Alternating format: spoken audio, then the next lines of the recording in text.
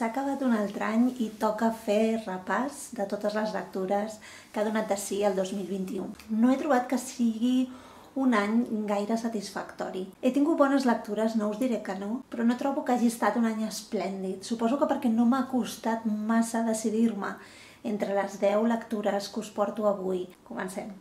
De les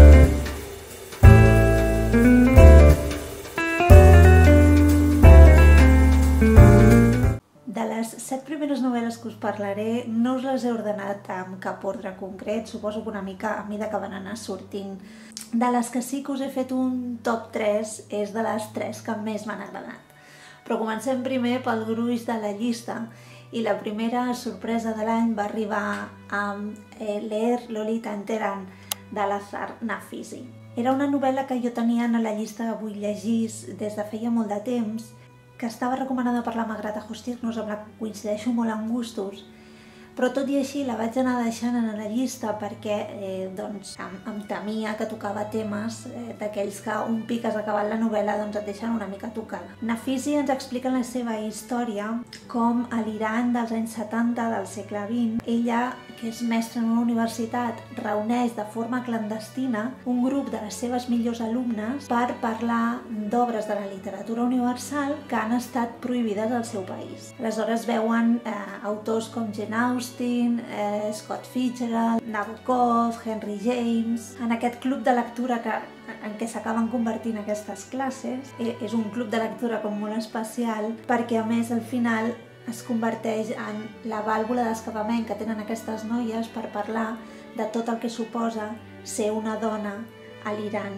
dels anys 70. Com a bon llibre que parla de llibres, crec que és una novel·la que pot agradar molt a tots aquells que ens agraden els llibres en general. Però a més, eh, aquesta visió que dona sobre eh, la situació de la dona a Iran als anys 70 i, i quins eren els somnis o els objectius que podien marcar-se amb, amb aquesta situació en la que vivien, eh, doncs li dona una altra òptica eh, molt especial a la novel·la. 2021 ha estat, pel que fa a les meves lectures, l'any de la Maggie O'Farrell, que s'ha colat amb dos títols, amb els dos títols que m'he llegit d'ella aquest any. El primer que va arribar va ser L'estranya desaparició de l'Esme Lennox. És un llibre que em va sorprendre perquè la veritat és que no n'esperava res i, i crec que està molt bé enfrontar-se així amb els llibres perquè eh, moltes vegades les altes expectatives són les que t'acaben una mica marcant la puntuació final que tu li acabes de donar a, una lectura. L'Iris Lockhart un dia, mentre s'ocupa de la seva botiga, doncs rep un avís, una germana de la seva àvia, de la que ella no n'havia sentit mai a parlar,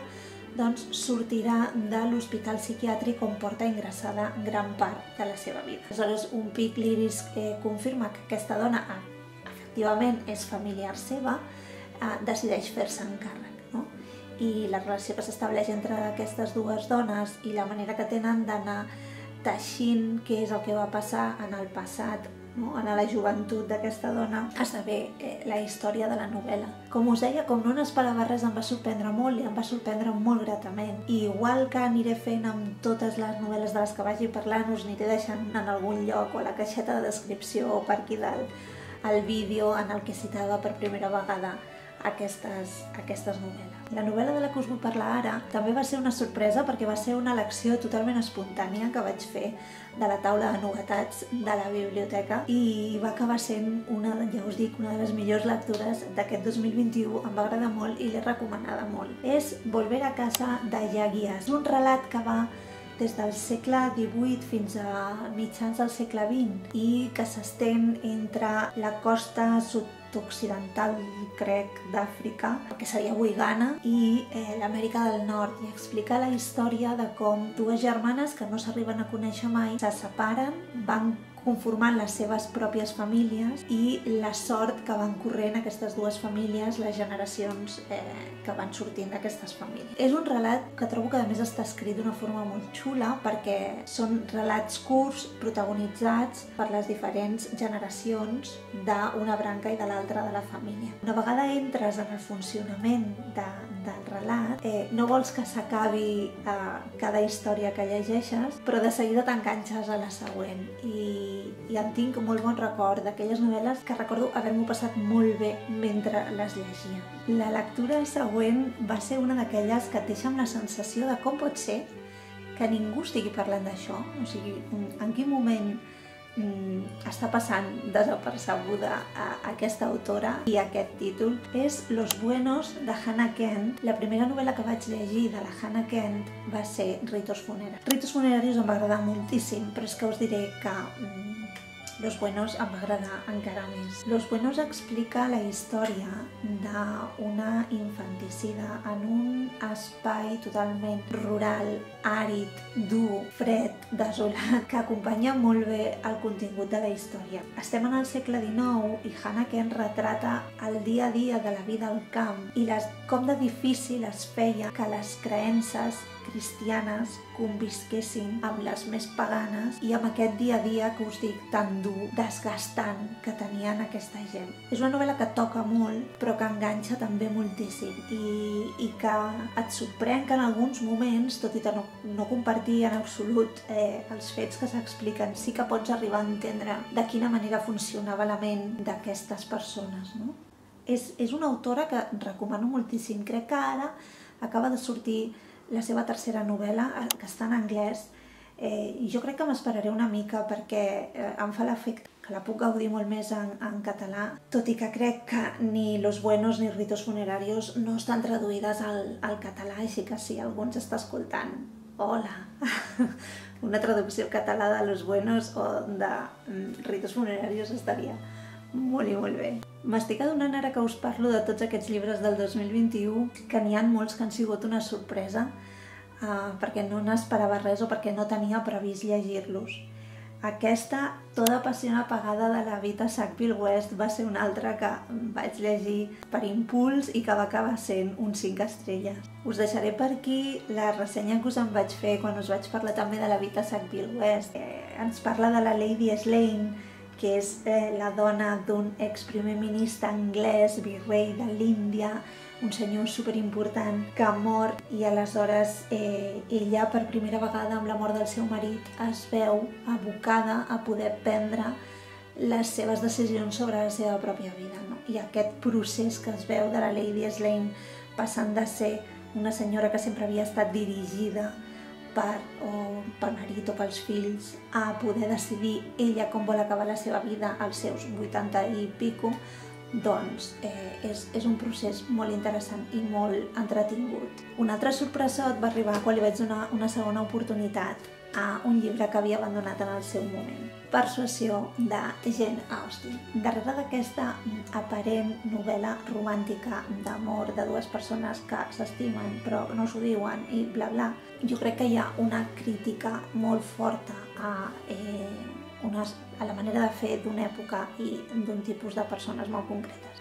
Em va costar, em va costar entrar en la història de persuasió, em va costar fer-me meus els personatges, però sí que és cert que una vegada ja hi havia entrat em va agradar molt i crec que ara en tinc fins i tot més bon record que quan me la vaig llegir. Realment penso que té una de les conclusions, un dels finals eh, més macos que he llegit jo en una novel·la i també us deia eh, hi ha una carta d'amor que em sembla que tot i ser molt continguda, doncs que em sembla magnífica. És una sort que li donés una segona oportunitat perquè realment eh, la primera lectura que em vaig fer, no recordo fins on vaig arribar, perquè no ho tenia ni marcat, però no la vaig deixar pensant que no fos el moment i que ja l'agafaria en un altre moment, sinó que la vaig deixar perquè simplement vaig pensar que no era per mi. I no m'agrada més que Orgull i Prejudici, que m'agrada molt, però trobo que és una molt bona novel·la. Us parlo ara del segon eh, Maggie O'Farrell de la llista, que és Hamnet, que tenia moltíssimes ganes de llegir-lo, mm, primer per la coberta, perquè és mm, fantàstica, i segon perquè en totes les ressenyes que n'havia llegit la deixaven molt i molt bé. Hamnet eh, no és una novel·la sobre Shakespeare, és, és una novel·la sobre la història d'una dona, eh, sobre la història de la vida d'una dona, de com lluita per tirar la seva família endavant, com ha de prendre decisions que de vegades no són eh, el que ella voldria, però sap que són el que convé tant al seu marit com als seus fills i, i és una novel·la que, que em va encantar. Estic d'acord amb algunes opinions de lectors que diuen que hi ha trossos que se'ls va fer feixuc. Sí, a mi també. I tot i així eh, és una de les millors lectures que he fet aquest any. És d'aquelles novel·les que quan l'estàs llegint saps que potser et costaran una mica, però també saps que, eh, que són històries que es quedaran amb tu. Sincerament no crec que sigui un llibre per tothom, no crec que sigui un d'aquells llibres que pots recomanar eh, sense por a equivocar-te, perquè en aquests trossos que diguéssim que baixa el ritme o que se't pot fer més feixuc, doncs pot ser que hi hagi lectors que no segueixin endavant amb la lectura. Però sí que si sou uns lectors mínimament pacients, crec que Hamlet és una lectura que s'ha de fer. Ara ja us vull parlar del top 3, els 3 llibres que més m'han agradat aquest any. De debò que no he tingut cap problema en triar-los, no he dubtat que siguin aquests 3. No tinc la sensació d'haver deixat fora de la llista algun llibre per haver-ne posat un altre, eh, estic molt convençuda de la tria que he fet i en el número 3 tenim Expiació. És un llibre del que jo ja havia vist la pel·li, la pel·li m'havia agradat, però el llibre em va agradar molt més i és un llibre que realment um, crec que s'ha de llegir fins i tot si has vist la pel·lícula si ja saps què passa perquè eh, sobretot la primera part, pel meu gust, la primera part és fantàstica la vaig, la vaig disfrutar moltíssim. Expiación és la història d'un malentès, eh, d'una nena que és massa petita per entendre realment què és el que està veient quan presencia una escena concreta en una part de casa seva. I a partir d'aquí, totes les conseqüències que es deriven d'aquest malentès. Això provoca unes conseqüències que afectaran a diversos personatges i que els acompanyaran durant tota la seva vida. És, és una novel·la molt potent, ja us dic, eh, jo la segona part no la vaig disfrutar tant com la primera. La primera és que té tot el que m'agrada. Eh, és un llibre que a, aquest any que he provat les relectures eh, no descarto tornar a llegir en algun moment. Si més no, la primera part ja us dic que seria una de les meves millors lectures d'aquest any, amb diferència. Després d'Expiació, en el segon lloc del top 3 eh, hi he volgut posar Washington Square de Henry James. És una novel·la que he llegit fa relativament poc i que eh, m'ha agradat moltíssim. Us deixaré per aquí també la ressenya que us en vaig fer perquè és una novel·la que m'ha sorprès, que m'ha agradat, que m'ha fet pensar, que encara em té donant-li voltes a certes coses. Eh, I no només de, mm, argumentals, sinó també a nivell de les estratègies que Henry James com a escriptor feia servir per crear en els lectors aquesta sensació d'incertesa que jo encara tinc després d'haver llegit Washington Square. Washington Square és la història de el doctor Sloper i la seva filla Catherine. El doctor Sloper és vidu, és metge, eh, és una família benestant i eh, en el moment en el que la Catherine s'enamora d'un jove pretendent, el senyor Sloper comença una batalla per evitar que la Catherine es casi amb aquest home, perquè ell pensa que la seva filla no té cap mena d'habilitat ni cap mena de gràcia com perquè algú es pugui fixar en ella més enllà dels diners que heretarà quan ell mori. I per tant, ell pensa que aquest matrimoni eh, està condemnat al fracàs, si més no, aquest senyor no s'està casant o no es vol casar amb la Catherine per amor, sinó per que és totalment intencionat eh, el no ser clar respecte a, a certs punts de, de l'argument i, i que deixa molt a, molta feina a fer als lectors, no? a que tu interpretis tot allò que ell doncs, t'ha anat insinuant de la manera com tu consideris més adequada.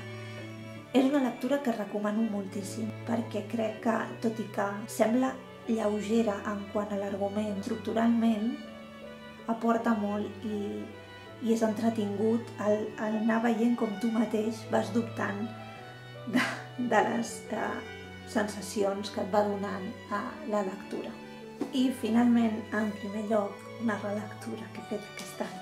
De debò que vaig intentar no posar-la en primer lloc perquè no em semblava just, però realment sent objectiva és la lectura que més m'ha agradat de totes les que he fet. Aquest any prometo ser molt breu perquè us n'he parlat 30 milions de vegades i no vull ser pesada amb aquesta novel·la, però el número 1 és per Giner, de Charlotte Bronte. No hi ha cap lectura que hagi fet aquest any que m'hagi agradat més que aquesta i no no, no hagués estat uh, ajustada a la veritat si hagués posat una altra novel·la només per no repetir gènere. De debò que ho deixaré aquí, no us explicaré res més sobre gènere. Us deixaré per aquí el, el vídeo on us en parlava perquè crec que eh, n'he parlat molt i, i no tinc res més a aportar. Mm, tot el que havia de dir sobre Gener ja ho he dit i no crec que calgui repetir-ho, però eh, amb diferència Gener ha estat doncs, la meva millor lectura de 2021. Doncs fins aquí eh, el resum o les lectures que us portava per avui. Ja us dic que no em sembla que hagi estat un any especialment esplèndid. M'agrada més quan em costa més decidir entre, entre eh, els diferents títols que he fet i, i, qui, i quins posant a la llista i quins no. I és un dels meus objectius aquest any, a triar millor les lectures i centrar-me eh, potser més en allò que m'agrada i, i no tant en el que penso que em pugui agradar. Sé que s'han de provar coses noves, però no serà aquest any, serà altres anys. I aquest any sí que tinc el repte doncs eh, a l'estiu potser eh, de llegir Guerra i Pau, que tinc els meus dubtes que hi hagi algunes parts que m'agradin, sí que sé que en conjunt pot ser un llibre que em pot agradar molt, però eh, crec que aquest serà el repte eh, més gran que em marqui aquest any. I a partir d'aquí eh, la resta vull trobar novel·les que em facin feliç llegint, com em va passar a finals de desembre, i, i és la línia que vull seguir doncs, en aquest 2022. M'agradarà saber quins són els vostres llibres preferits de, del 2021. Vaig veient, perquè tinc molta feina acumulada de YouTube, de tots aquells que teniu canals, doncs quines han estat les vostres lectures, us vaig eh, mirant, us vaig comentant i realment eh, és un dels vídeos que més m'agrada veure perquè et fa una idea doncs, molt bona de quin tipus de lectors som tots plegats. Espero que us hagi agradat, que hàgiu pogut treure algun títol que creieu que us pugui interessar per llegir vosaltres aquest 2022 i si teniu ganes ens veiem la setmana que ve. Adeu!